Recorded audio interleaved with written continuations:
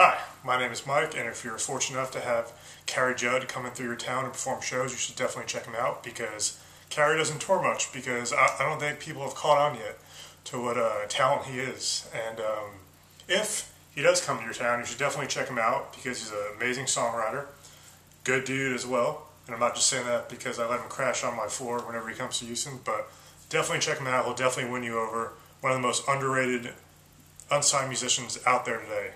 Get on it.